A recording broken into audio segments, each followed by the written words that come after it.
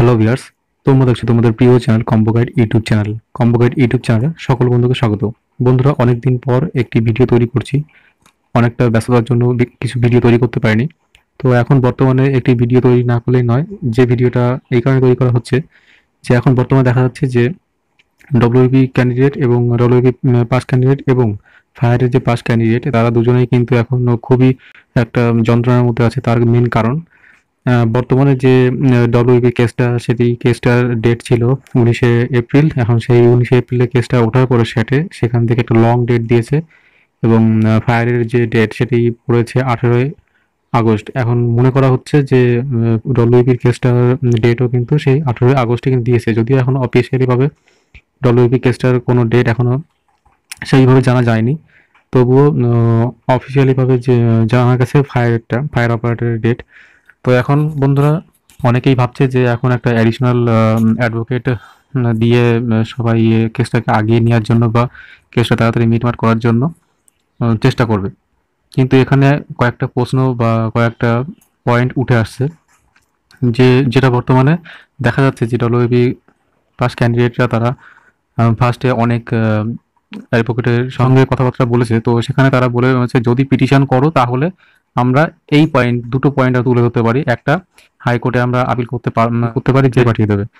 এবার আরেকটা পয়েন্ট যেটা আছে, সেটা হচ্ছে এই যে এসটি অর্ডার এই এসটি অর্ডারটা কিন্তু স্যার থেকে দেয়নি, সেটা কিন্তু হাইকোর্ট থেকে দিয়েছে। হাইকোর্ট থেকেই সাতাশে জানুয়ারি লিখিতভাবে কিন্তু এস্টেটা দেয় এবং এস্টেট দিয়ে বলে দিয়েছে যে তিরিশ তিন মাসের মধ্যে স্যাটকে নিষ্পত্তি করতে হবে। তো সেই তিন মাসের যে ডেট সেই ডেটটি শেষ হচ্ছে সাতাশে এপ্রিল। এবং এখন দেখা যাচ্ছে যে স্যার থেকে যেহেতু বর্তমানে কোভিডের বারবারন্ত হয়েছে এবং কোভিডের ভয়ানক পরিস্থিতি সৃষ্টি হয়েছে এবং স্যাটের কয়েকজন কর্মচারীর কোভিড আক্রান্ত হয়েছেন, সেই কারণে এই স্যাট থেকে সিদ্ধান্ত নিয়েছে যে প্রতি মাসে একদিন করে স্যাট বসবে এবং সেইভাবেই কিন্তু ডেট খুব লং পড়েছে।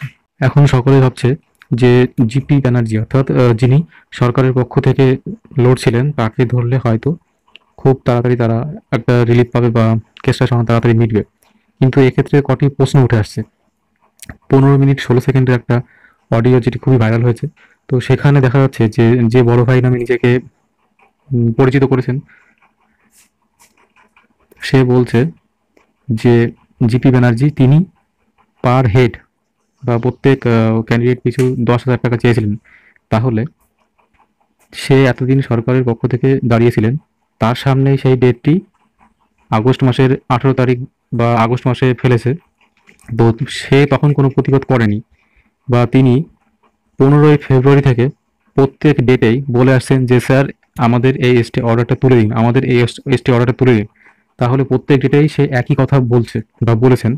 তো সেখানে দাঁড়িয়ে জিপি ব্যানার্জি বর্তমানে অ্যাডিশনাল উকিল দিয়ে কি- কি করে কেসটিকে আগিয়ে আনবেন, এটা একটা প্রশ্ন উঠে আসছে। দুই জিপি ব্যানার্জি স্যার ক্যান্ডিডেটদেরকে মানে ওই অডিওর যে ভাইরাল হয়েছে, সেই অডিওর মধ্যে বড় ভাই নামে যে, সে বলছে যে আমাদেরকে দশ হাজার টাকা করে চেয়েছিল এবং টাকাটা একবারে নেবে। সেখান থেকে সে কমিয়ে হাজার টাকা বলেছে বলেছিল স্যার তারপরে সেখান থেকে বড় ভাই নামে যে ছেলেটি সেই ছেলেটি বলেছে, না স্যার আমরা পাঁচশো টাকা করে দেবো। তখন সেই জিপি ব্যানার্জি স্যার বলেছে যে, তুমি কতজনকে জোগাড় করতে পারো? তখন ও সে বলে, আমি মোটামুটি আট নশো জোগাড় করতে পারব। তখন বলে যে, না, তুমি দু হাজার মতো জোগাড় করলে আমি সাড়ে পাঁচশো টাকা করে নেব।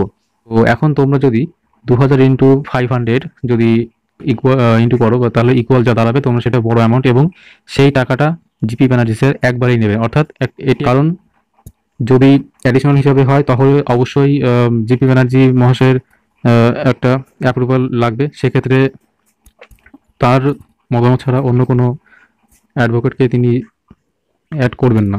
এটা উঠে আসছে যে টাকা একবারে কেন? টাকা যে ডেট আসবে, সেই ডেটে টাকা তোমরা দেবে। একবারে টাকা দিলে যখনই একবার টাকাটা তার পকেটে চলে যাবে, তখনই কিন্তু সে পরের ডেটগুলো ভুলে যাবে। তখন কিন্তু আবার টাকা চাইবে।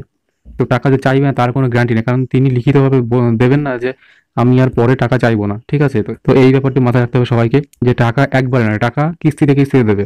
অথবা যে তারা কাজ করে একটা প্রবণতা দেখাবে, নইলে একবারে টাকা যখন তার পকেটে চলে যাবে, তখন সেক্ষেত্রে কিন্তু ডেট বেড়ে গেলেই তার আবার টাকা পাওয়ার একটা প্রবণতা থাকবে। তো সেক্ষেত্রে আরেকটা পয়েন্ট এখানে উঠে আসছে যে, প্রত্যেক কাস্ট প্রত্যেক কাস্ট থেকে দু একজন প্রতিনিধিত্ব কিন্তু করা উচিত। নইলে এখানে বড় ভাই যে ছেলেটি, সে বলেছেন যে যারা কেসে থাকবে না, তাদেরকে পরে করাবে একটা কথা মাথায় রাখতে হবে যে, বিহার এবং মেডিকেল এটা কিন্তু ছ মাস ভ্যালিডিটি থাকে। তো যেহেতু তোমাদের ছ মাস কিন্তু হয়ে যাচ্ছে, সেক্ষেত্রে প্রত্যেককেই আবার নতুন করে বিহার মেডিকেল কিন্তু করাবে, তারপরে জয়েনিং করাবে। তো সেক্ষেত্রে প্রত্যেকেই একই সঙ্গে করবে। এটা নিয়ে তোমাদের অতটা মাথা ব্যথা করার দরকার নেই। তো যাই হোক বন্ধুরা, ভিডিওটি পারলে তোমরা শেয়ার করো, কারণ কয়েকটি যে পয়েন্ট আমি তোমাদেরকে তুলে দিলাম, এই পয়েন্টগুলো কিন্তু খুবই গুরুত্বপূর্ণ।